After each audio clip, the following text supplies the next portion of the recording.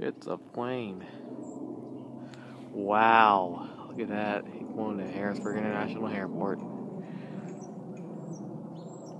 Is that a Boeing or is it a... I don't know what kind of plane that is. But it might be cool.